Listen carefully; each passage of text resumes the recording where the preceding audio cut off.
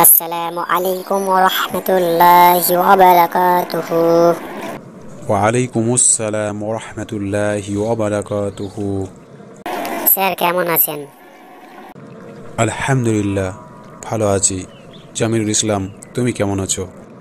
আলহামদুলিল্লাহ ভালো আছি। স্যার বসে কি করছেন? এই তো বসে আছি তুমিও বসো কিছু কোরআন হাদিসে আলোচনা হবে। স্যার শুরু করেন কোরআন ও হাদিসের আলোচনা প্রথমে কোরআন দিয়ে শুরু হোক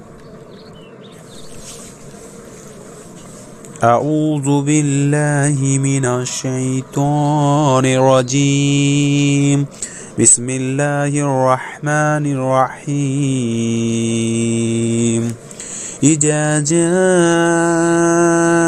نصر الله والفتح ورأيت الناس يدخلون في دين الله أفواجا فسبح بحمد ربك واستغفر واستغفروه إنه كان توابا শোনো জামির ইসলাম আজকে আমরা ইসলাম ও নৈতিক শিক্ষা নিয়ে কিছু আলোচনা করব তুমি আমাকে কিছুটা প্রশ্ন করো।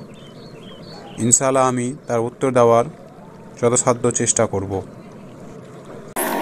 জি স্যার শুরু করা যাক। স্যার ইবাদত মানে কি? জামির ইসলাম শোনো তাহলে। ইবাদত মানে হচ্ছে আল্লাহর হুকুম পালন করা। আল্লাহ তাআলা কোরআনে যে নির্দেশ দিয়েছেন তা মেনে চলা। ও রসুল সাল্লাহ সাল্লাম যা আমাদেরকে আদেশ দিয়েছেন তা পালন করা। স্যার আমার দ্বিতীয় প্রশ্ন হচ্ছে আল্লাহ তাআলা আমাদের কি আদেশ করেছেন? আল্লাহ তাআলা সত্য ও ন্যায় কথা বলার জন্য আদেশ করেছেন। স্যার তিন নম্বর প্রশ্ন হচ্ছে আমাদের কর্তব্য কি? আমাদের কর্তব্য হলো মহানবী সাল্লাহ আলি সাল্লামের দেখানো পথে চলা। স্যার আমার চতুর্থ প্রশ্ন হচ্ছে জান্নাতের চাবি কোনটি? জান্নাতের চাবি হলো সলাত স্যার আমার পাঁচ নম্বর প্রশ্ন হচ্ছে ইসলামের রুকুন কয়টি ও কি কি?